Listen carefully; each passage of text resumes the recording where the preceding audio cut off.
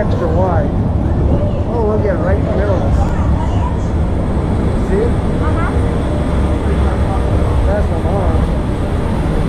Ready? No, it's not on.